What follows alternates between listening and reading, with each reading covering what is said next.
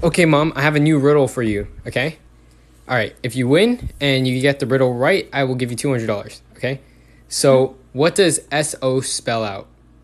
Huh? What does SO spell out? SO? Mm hmm. SO. Yeah. What does it say?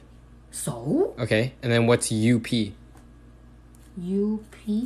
Mm. Okay, now put it together. So? Up. No together S U S S what S O. S O Yeah. What is that? U P Yeah. soup Oh shoot! No! No!